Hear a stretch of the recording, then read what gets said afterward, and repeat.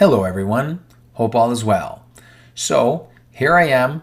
No, not a lawyer, just a Canadian citizen that cares about his civil liberties. That drives me to the Canadian Justice Laws website. I was informed of this Statutory Instruments Act created in 1985. So I'm going to review this act with the intention of answering the following question Can our government legally override our civil liberties? My answer as a Canadian citizen is absolutely not.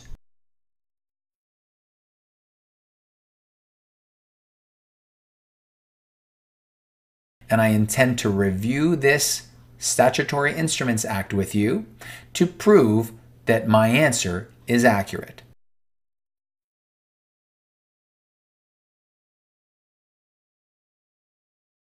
Let's scroll down here to section 3 that says examination of proposed regulations.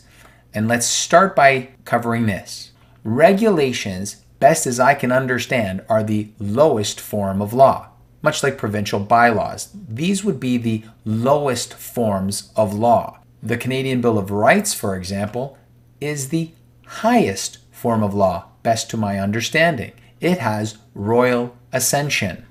Going back to this, I want us to understand the context. This is an examination, a good look at proposed regulations, not actual regulations, but proposals of regulations. Let's start here, section 1 of section 3. Subject to any regulations made pursuant to paragraph 20A, where a regulation making authority proposes to make a regulation. So let's keep this in context. There's a regulation making authority, but they simply propose the regulation. I just want to keep in context that they don't get to just make regulations, they get to put forth a proposal of the regulation.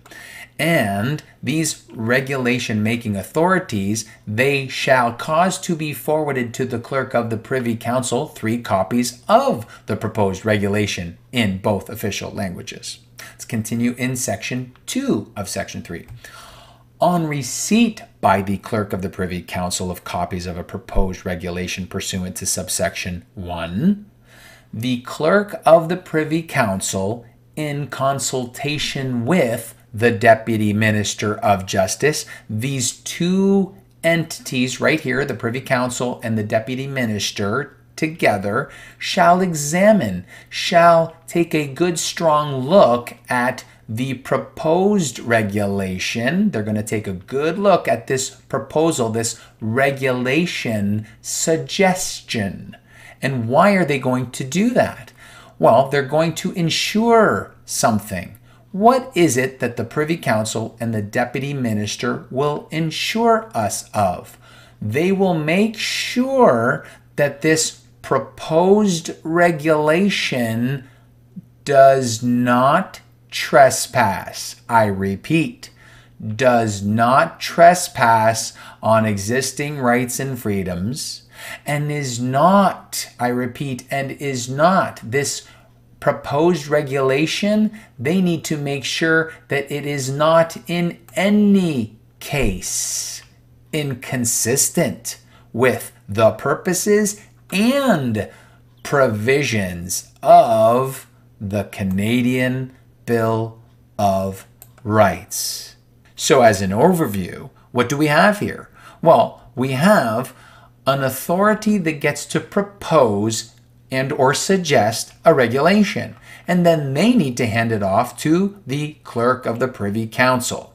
Once they've received this suggestion the clerk of the privy council along with the deputy minister of justice their job is to make sure to examine this regulation and to make sure that it does not override our Canadian Bill of Rights, that this proposed regulation does not trespass our existing rights and freedoms, and that it does not in any case become inconsistent or in conflict with the purposes and the provisions of our Canadian Bill of Rights.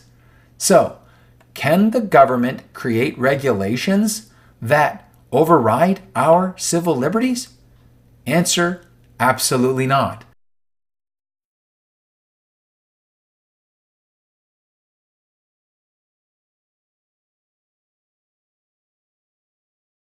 In fact, it would appear to me that they even have in place this Privy Council and the Deputy Minister.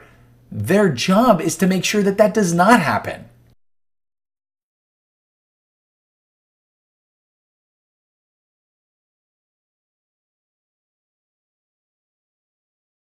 You will note that I'm skipping the Canadian Charter. Yes, it applies to the Charter, but I don't invoke the Charter. And if you're curious about that, please do go to my YouTube channel, or if you're on my Facebook, go to the Dirty Charter Secret video, a little less than 10 minutes long, and around 10 minutes long is the Charter Escape. Start with the Dirty Charter Secret. Real quick, bottom line is Section 1 is a problem in the Charter. It sets reasonable limits. This is a totalitarian style of rights and freedoms document, okay? Because who gets to put the reasonable limits? Them. Who gets to determine what those limits are? Them.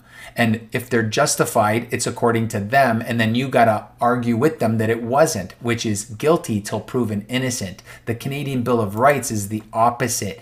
It's the opposite because there's a due process of law okay? And we have protection of the law. So you have your rights, and if someone has a problem, you get to continue. You have a right to not be deprived of that right except by due process of law, which means I'm innocent until proven guilty. And then the onus is on them to somehow convince a judge that when I had, you know, seven people over for a barbecue, I was somehow breaking the criminal code. Okay? So that's why you want to invoke the Bill of Rights, because there's no argument. I don't even need a lawyer to show up with the Bill of Rights. But you pull in the charter, all of a sudden, here we go, we have a debate. Was it reasonable or was it not? Was the limit proper or was it too much? Was it justified or not? And if so, when do I get my day in court? Because so far I'm guilty until I can prove that you were wrong. Why should I prove that they were wrong? No, no, no, no. I'm going to have my rights, and you guys, you can try to prove that I was wrong because I decided to have Thanksgiving dinner with my mom and my dad. Okay? Warning, sarcasm, and sassy alert. But back to a final say on this Statutory Instruments Act. I believe this further proves in Section 3, and remind you here, just for convenience, Section 3 and Section 2C of Section 3 proves that our government cannot legally override our civil liberties. Period. I hope this gives you confidence that the laws are on our side, and I hope this has been edifying for you. In the meantime, thank you so much for listening. Grace and peace.